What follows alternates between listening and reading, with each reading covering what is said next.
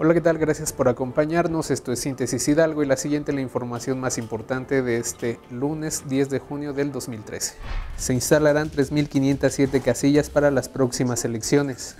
Candidatos panistas piden mayor apertura en medios electrónicos. El Servicio Meteorológico Nacional pronostica lluvias para las próximas 72 horas. El Instituto Estatal Electoral determinó que para el próximo 7 de julio se instalarán 3.507 casillas en todo el estado y presentó el primer informe del monitoreo de difusión de las campañas políticas. Para las votaciones en las que se elegirán diputados locales el próximo 7 de julio, se instalarán en todo el estado 3.507 casillas, informó el presidente consejero del Instituto Estatal Electoral, IE, Mario Ernesto Feifer Islas. Al término de la primera sesión ordinaria del mes de junio del Consejo General de dicho organismo, el funcionario electoral detalló que esa cifra engloba a las casillas básicas, contiguas, extraordinarias y especiales. El listado nominal es de 1.924.368, que implica un porcentaje de cobertura del 95.02%, eh, y el número de casillas que habrán de instalarse son 3.507 casillas, es decir, 1.747 básicas,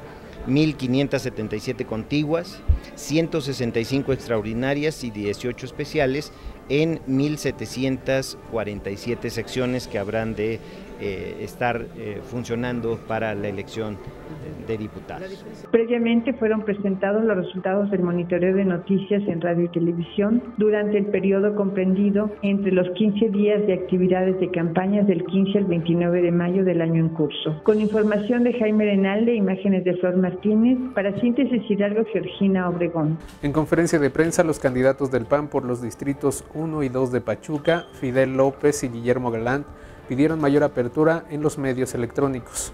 Candidatos del Partido Acción Nacional pidieron mayor apertura en los medios de comunicación, específicamente en radio y televisión. En rueda de prensa, los aspirantes de los distritos 1 Pachuca Oriente y 2 Pachuca Poniente, Fidel López y Guillermo Galán, señalaron lo anterior y se pronunciaron porque tengan mayor participación en la difusión de sus mensajes. Porque esto es lo que queremos de los medios, o al menos un servidor, que seamos equitativos que la gente le lleguen las propuestas que estamos haciendo nosotros.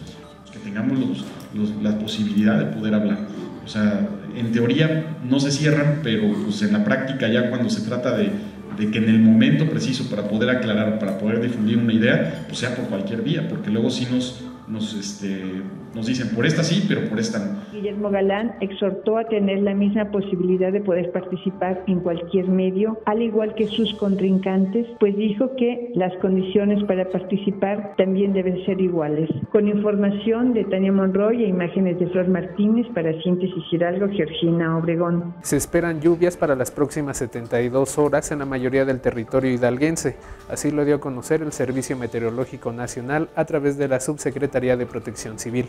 Días con lluvias de ligeras a moderadas, principalmente por tardes y noches, se esperan para las próximas 72 horas en gran parte del territorio estatal. Esto lo informó el Servicio Meteorológico Nacional por medio de la Subsecretaría de Protección Civil en Hidalgo. Dio a conocer que del martes hasta al menos la tarde del jueves la lluvia será un fenómeno presente durante gran parte de la tarde y de la noche, además de que las temperaturas oscilarán entre los 25 grados como máxima y 12 como mínima. Informe pronosticó para la zona del Valle de Tulancingo cielos medio nublados con posibilidades de lluvias dispersas, en donde los termómetros pueden llegar a marcar entre los 26 y 14 grados centígrados. El documento agregó que para la región de Exmequilpan y el Valle del Mezquital se prevén chubascos de ligeros a medianos, principalmente por las tardes, con temperaturas de 23 grados centígrados, en el día disminuyendo hasta 12 grados por las tardes y noches. Con información de Yosimar Durán e imágenes de Flor Martínez para Síntesis Hidalgo, Georgina Obregón.